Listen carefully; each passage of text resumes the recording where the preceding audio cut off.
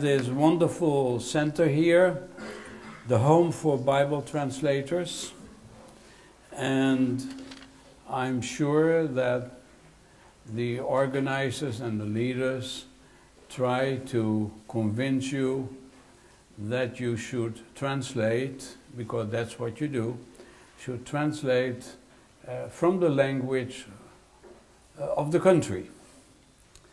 And uh, I agree to that, and I will uh, come to this issue from another aspect, and I would say uh, one has to translate from the language of the Bible.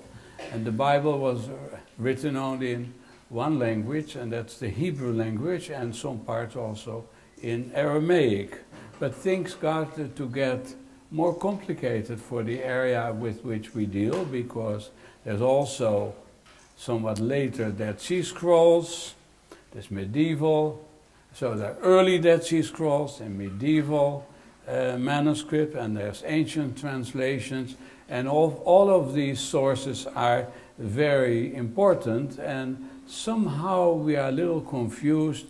What do we have to use as a source for our translations? And uh, it is true, uh, some translations are even translated from English or from French. And so we have to face these uh, issues.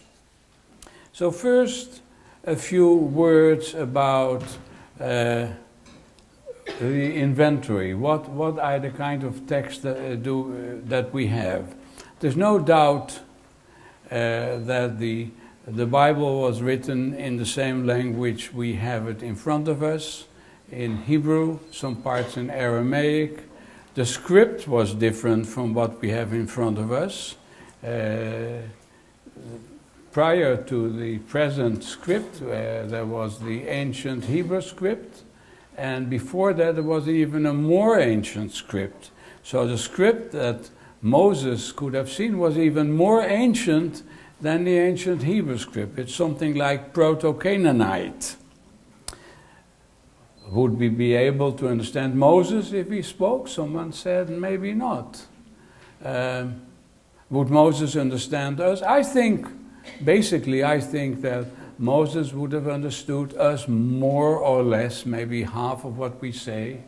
And we would, we definitely would have understood Moses because we read what is in Scripture. But now the texts. If you use your Bible in whatever language, these are more or less uh, translated from the text that we now call the Masoretic text. And the Masoretic text is the Hebrew, traditional Hebrew text, also called the received text, that is based on uh, ancient uh, traditions, but these ancient traditions are from the Middle Ages. And so we now know more, and we, uh, we in quotation marks, we found the Dead Sea Scrolls, and uh, we can go back 1,000 years more, more or less to the time of Jesus and 100 uh, years before, 200 years before, and that's the time of the Dead Sea Scrolls. The problem being that those Dead Sea Scrolls are uh, really fragmentary. You all look in the large Isaiah scroll, and it's all very beautiful. I would not want you to translate the Bible today from that Isaiah scroll. It's a badly written scroll.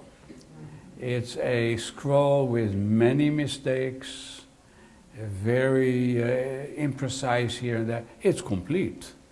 The spelling is very strange. Those of you who know Hebrew will find a very strange word, but it's complete. And, and the, the story in the New Testament says that uh, Jesus, when he was in the Galilee, he uh, opened the, an Isaiah scroll in the synagogue in my view, but no one can prove this, this would never have been anything like the Isaiah scroll found in Qumran, that is 1Q Isaiah A, not like 1Q Isaiah A, because don't quote me, and even though they uh, record me here, don't quote me, I, th- I think this is not an excellent scroll, but the other uh, Isaiah scroll, 1Q Isaiah B, is a, is a very good one. So that could have been used in the synagogue uh, in the Galilee. So now let's make a little order. We have the, the, the biblical text that we hold in our hands today in modern edition, that's called the Masoretic text. That's more or less uh, the text that you hold in your hands in English or in French, etc.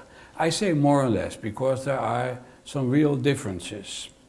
These go back, or this edition goes back to the Middle Ages, to the medieval Masoretic Codices. They are not based, the modern uh, Hebrew editions are not based on the Dead Sea Scrolls. So, that's two. The ancient uh, Dead Sea Scrolls, the medieval Masoretic uh, Codices. Then we have a very important uh, Greek translation, the so-called Septuagint. Why is it important? It's important because scholars say uh, that uh, this translation reflects, not contains, but reflects many important readings, many important details, and is often more original than the uh, Masoretic Hebrew Bible. But it's in Greek. And you're not going to translate a modern text into, uh, into English from the Greek Bible. This is very little done, but it is also done. But the main texts are translated from the Hebrew. It was the text uh, that Jesus used, that Paul used. I, I think I could speak more uh, with certainty about Paul than about Jesus. This was the text that Paul used. And there are here and there scholars who believe that that text should actually be translated into English and used by Christian communities. This is uh, an off the way view. Now, in, in addition to the Hebrew and the Greek, we have a host of ancient translations into ancient Syriac, the so called Peshitta, into Aramaic, the so called Targumim, and from around the year 400 into Latin by Jerome. All these versions need to be translated back into Hebrew before we scholars can use them in our reconstruction of the Hebrew Bible. Because basically, that's what scholars do. Scholars, uh, and in particular scholars called textual critics like myself, want to find out not what the Hebrew text was like in the Middle Ages, they want to find out basically what was the original Hebrew text, and when doing so, they run into trouble. Because basically, we can never know what was the original Hebrew text, and I believe there is not, this is a little complicated at an abstract level because I say there was no original Hebrew text. Sounds a little strange, but uh, the Hebrew text ran through a series of ancient, uh, authentic versions.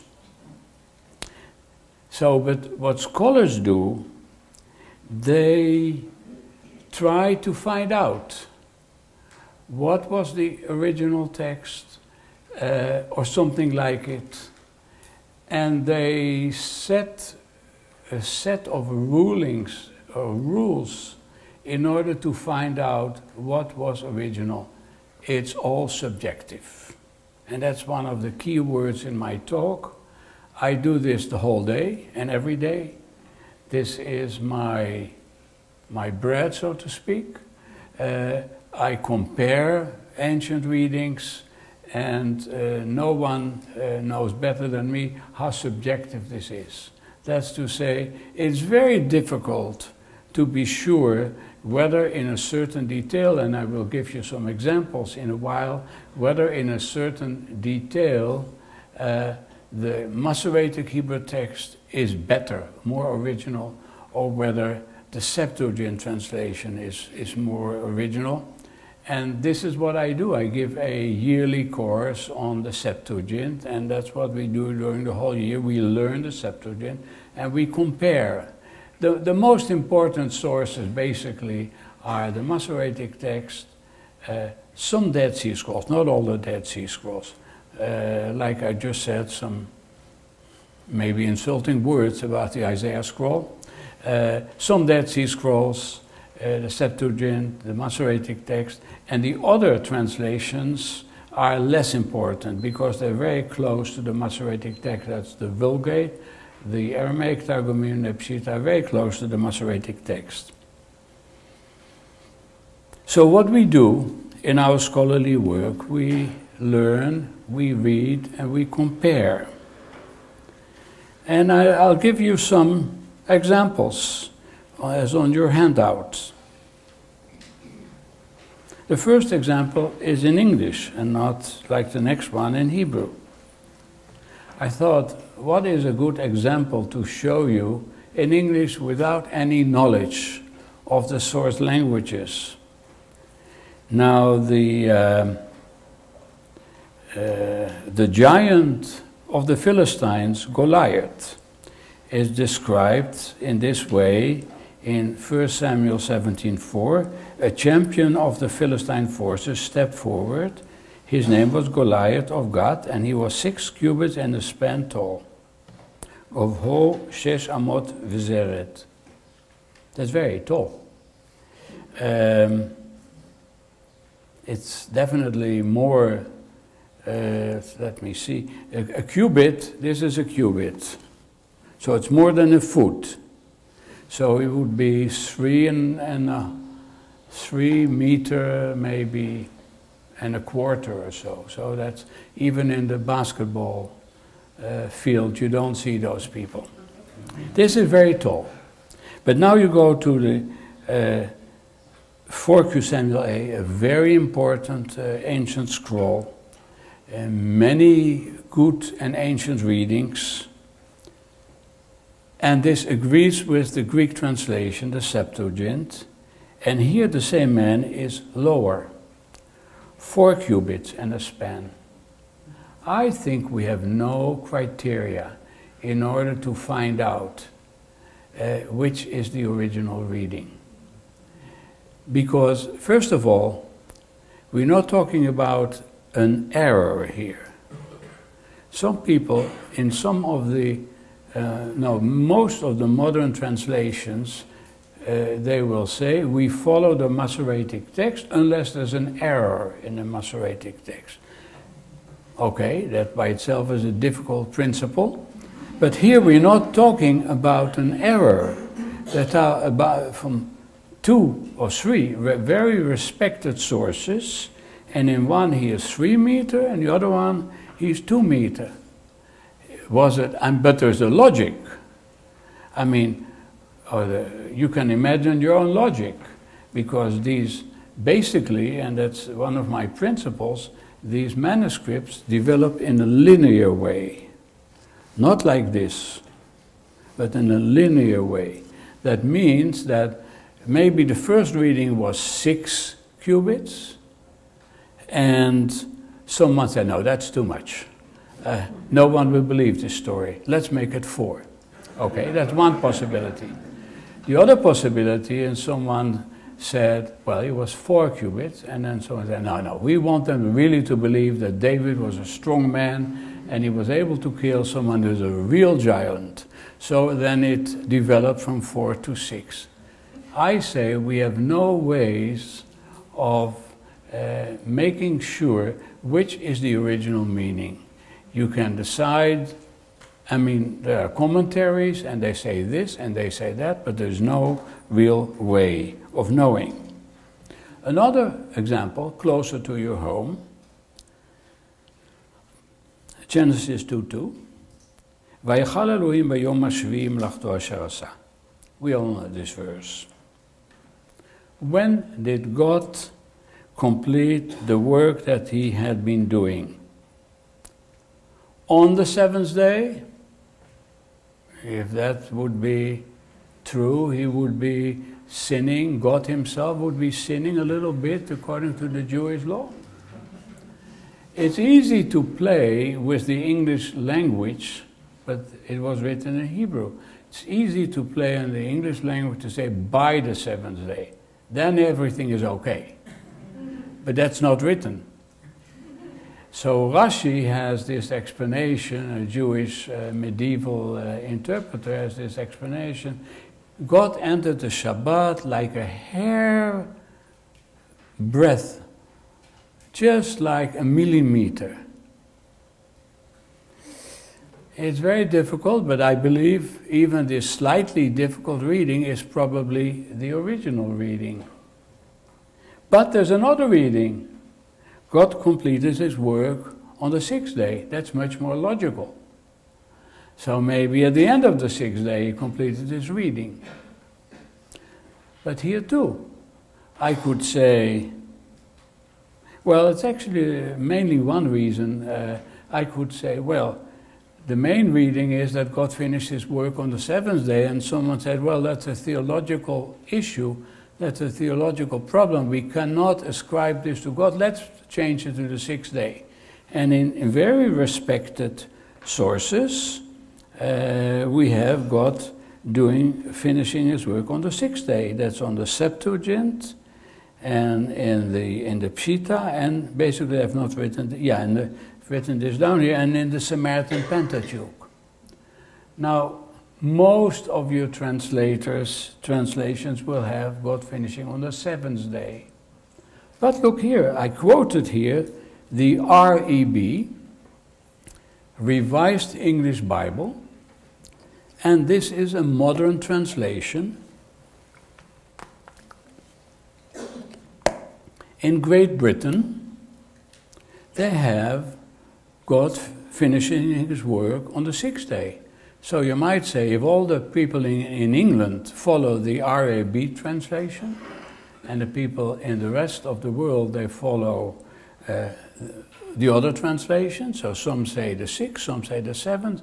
Basically, what I say, you have a, it's, you might say it's a small thing, but it, it is still for people who live with a translated Bible. It still is an issue when did God finish his work? And so you, you have this problem to which basically there is no answer.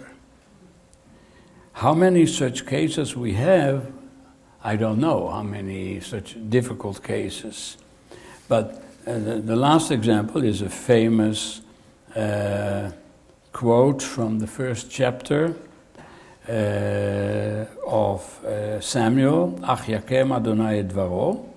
And we have here in the, in the um, may the Lord fulfill his word. So the Lord will fulfill his word with regard to the vow of Hannah, or completely different. Uh, may the Lord fulfill that which comes out of your mouth, of Hannah. It's very interesting because this is two different ways of viewing the situation with regard to the young Samuel. Um, did the Lord promise something that has to be uh, fulfilled? Or did uh, Hannah have a certain vow and that needs to be fulfilled? I can imagine how one reading Oh, yes, and Aaron just wrote about this, right? He wrote about just uh, a few months ago, he wrote a paper on this uh, in uh, JBL. I can imagine how uh, one could change one reading to the other one, or the other one to the first reading. It's very difficult to make up your mind here. So basically, if I go back to my points, I talk so far uh, on points 1 to 4, and then I, I now come to point 5. What is the task of modern translators? Um, this will be um, formulated, phrased in different ways by different communities by different translator uh, bodies. Um, I would say as far as I know, most of the translators, uh, they basically take the freedom in their hands. And they do what I beforehand quoted like follow the Masoretic text, but change it here and there if you think the Masoretic text is wrong. Uh, this is an official guideline that I see in introductions to translations. The result is a lack of order. I mean, the word mess is a big word and maybe not so very honorary, honorary not so honorific. Um, but basically, this is what you have because I, I, I gave this example from the REB. When did God finish His work? On the sixth day or on the seventh day? So if you follow this Bible, you read this, you follow that Bible, you read that. There are no uh, handbooks except for a few that will tell you uh, which reading to follow for translators. And the ones that I know, the handbooks, uh, like I, I, know one that I read in detail, uh, that's the one by Omanson on Esther. Um, even they give you some freedom. Or if you, you can't even follow the Biblia Hebraica because that leaves certain freedom too. So basically, the translator is left on his own, and, and the poor translator, who may not be an expert in, in textual criticism, will have to decide himself or herself. So that's why I developed this view, and I wrote a paper on this more in detail in a a journal called Textus in 2000, and it's also included in my um, collected writings, volume 2. And I developed a view uh, against eclecticism, that is, against the choice of readings uh, by translators, because I say uh, translators do not have the knowledge, intuition, know how in order to make a choice between these various options uh, because scholars themselves don't know uh, how to make a decision. So, how can we expect from translators to make this decision if the scholars don't know? So, my suggestion has been to follow one source. It's a good source, that's the Masoretic text on the whole, I would say it's the best source. Um, but also the Masoretic text has some problems, and then maybe uh, you have to overcome them uh, with solutions uh, on the spot. Like in the examples that I give in number seven, seven, yes, I give some examples of real difficulties in the Masoretic text and maybe you have to be creative. Cain said to his brother Abel, and when they were in the field, etc.